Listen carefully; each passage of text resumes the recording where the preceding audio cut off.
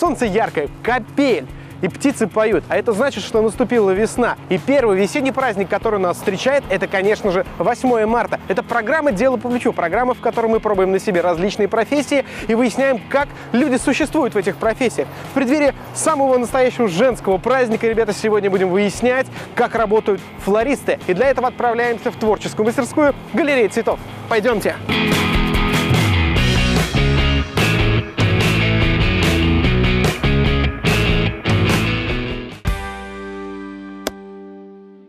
Рассказывать мне сегодня о профессии флориста будет Екатерина, собственно, флорист и...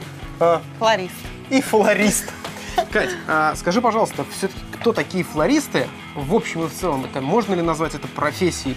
И кто приходит в эту профессию? Флорист – это, наверное, все-таки в первую очередь призвание. Человек, который умеет ухаживать за цветами, работать с ним, вообще имеет к ним хорошие отношения. Но это должен быть в первую очередь человек творческой личностью, у которого есть желание там, как-то себя проявить, что-то новое от себя тоже дать, показать. Ну и у которого есть желание работать с цветами, ухаживать за ними. Этого надо учиться в институте или все-таки достаточно, скажем так, внутреннего творческого посыла? Плюс э, какой-то взгляд э, художника, например. Это творческая внутри составляющая. Ну а институт, он добавляет э, каких-то навыков, то есть прям новых есть, знаний. То есть прям есть институт флористов? Или ну, это не это... институт, это, как правило, курсы. Есть там пятидневные, десятидневные, есть двухгодичные. Двух, то есть два года говорят, два как, года как делать букет? Да, показывают. Но там уже более высокая флористика. С чего начинается? День у флориста, ну и, наверное, мини-экскурсию по творческой мастерской галерее цветов? Я тебе покажу. Давай, пойдем. День у флориста начинается в первую очередь с обработки цветов. Что значит обработать цветы? Это ты достаешь цветы, которые стоят у нас в вазоне. Так. И обрабатываешь их. Заменяешь новую воду, ставишь так. в вазоне, обрабатываешь и подрезаешь. Можешь попробовать. Давай. Приходя на работу, флорист... Вот видишь, как ты плохо режешь. Ну, я ж не профессионал. А, флорист подрезает все цветы. Здесь у вас все. тысячи, мне кажется, десятки тысяч цветов в этом помещении. Сейчас. Каждый из цветков надо подрезать? Каждый надо подрезать, и в каждом надо поменять воду. Это обязательное условие для того, чтобы цветок был свежий, красивый и качественный. Уже лучше. Ну, я сейчас к последнему цветку смотрю, я сейчас как сделаю, вообще круто.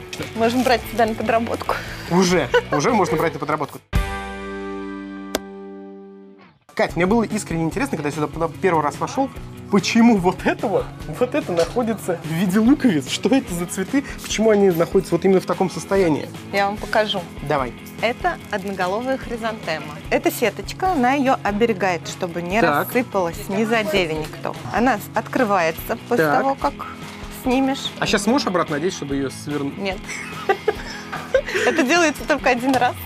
Хорошо, какие еще, кроме а, одноголовых хризантем, а, ну, розы я могу определить, тюльпаны могу определить. Какие да. еще цветы есть в магазине? Есть что еще гортензия. Вот гортензия, в этом букете, который делает Нина, это вот как раз гортензия, цветок. Да. Есть еще кустовые розы. Ну да, кустовые еще розы. часть холодильнике. Это что за цветочек? Это кустовая хризантема. Кустовая хризантема. Отлично. Как выбрать а, хороший цветок в магазине? Потому что ну, мы все прекрасно знаем, что есть а, продавцы, которые ну, не очень родиво относятся к своей работе и пытаются продать какие-нибудь завялы еще. Как определить хороший цветок? Как правило, хороший цветок, его видно сразу. Хороший цветок. Листья зеленые, много. Так. Хороший толстый ствол. Толстый ствол? Толстый, достаточно толстый. Ствол. толстый. Так. Сам бутон красивый, ты под, вот потрогай его, он плотненький. Да, Даже такой... на вид он хорошо выглядит. Чуть Они, не наверное, не пахнут. Не пахнут. Не все розы пахнут. И есть розы плохого качества вот который у меня одна пачка как раз попалась. Угу. Вот видишь, вот некоторые думают, что вот это бутон, который еще скоро откроется. Так. На самом деле это бутон, который вот так вот осыпался и уже опал. Друзья, этот бутон отправится кому-нибудь на свадьбу в виде «Эй!» В этой коробке тюльпаны Слушайте, находятся. тут тюльпанов, ну в деньгах не скажу, но в килограммах это как что-то типа пол меня. Вот они приходят вот То есть они вот так вот через пачках. границу едут? Ну, штук 300, я думаю, 400 тут лежит. Очень тяжело. Я так понимаю, что э, флорист должен быть еще и как минимум сильным физически.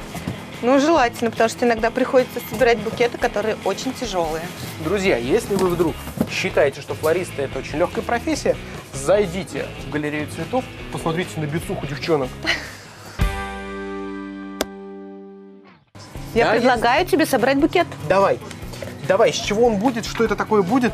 Давай сделаем а, что-то весеннее, да, тюльпаны. Я тебе могу предложить вот такие тюльпаны. Они очень высокие. Тебе будет очень удобно первый раз собрать букет из таких тюльпан. Я согласен. Ну что, приступаем, так сказать, к практической части нашей программы. Проходи за стол флориста. Стол флориста, друзья, это вот такая вот, вот такая стойка без стула, потому что сидеть флориста некогда.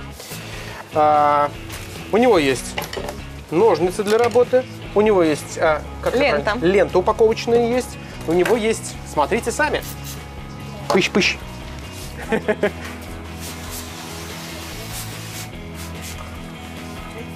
Освежиться надо было перед работой.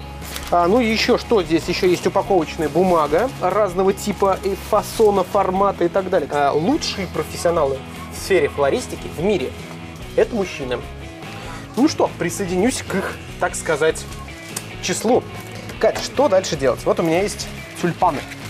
Я тебе вот достала немножко мимозы, чтобы твой букет был поярче. Нижний лист оторвать надо. Да, прям можешь бросать на пол.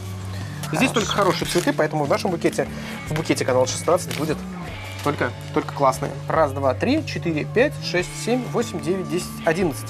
Как правило, считают по стволам. Я тебе уберу, чтобы не мешал. Одиннадцать достаточно. Да. Отлично. Основное в букетах – это собирать их по спирали. Но навряд ли у тебя это получится с первого раза.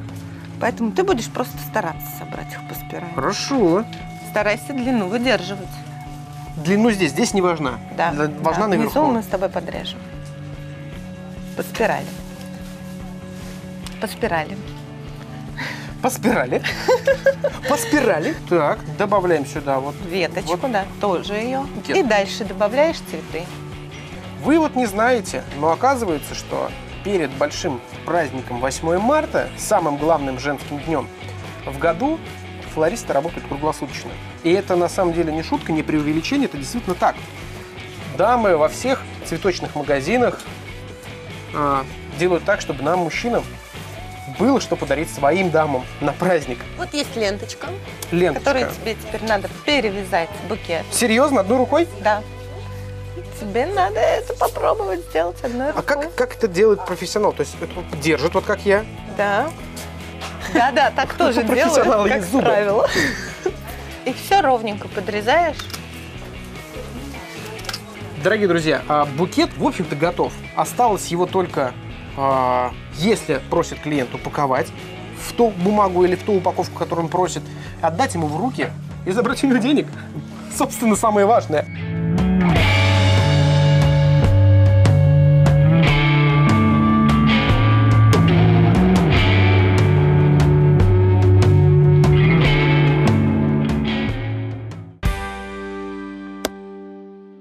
Ну что, я так понимаю, все, что можно было постичь из простого, я сделал. Нет, мы еще забыли сделать одно дело. Давай какое? Я согласен У все, это флориста? Герасим. Молчаливый. Который первый день провел на работе, поучился делать букет, обязательно есть еще одно дело. Заходи в холодильник, Так, и чего? а достань мне вон ту розу. Эй! Итак, это называется посвящение во флориста. Слушайте, меня здесь заперли, но слава богу, здесь есть. а, здесь есть виноград, здесь есть апельсины, конфеты и кое-что еще для праздника, а, что мы показывать не будем. Так что я думаю, что даже в пятиградусной а, прохладе этого холодильника я выживу. На меня посвятили у флориста, это здорово. Кать, скажи, пожалуйста, получилось ли у меня что-нибудь из профессии флориста, из работы флориста? Да, у тебя получилось все отлично. Очень быстро научился обрабатывать, неплохо собрал букет, но тебе нужно еще немножечко сюда к нам подходить, посмотреть, потренироваться, и тебе все будет по плечу. Спасибо тебе большое за этот потрясающий цветочный ликбез. С 8 марта вас, дамы, девушки. Счастья вам и здоровья.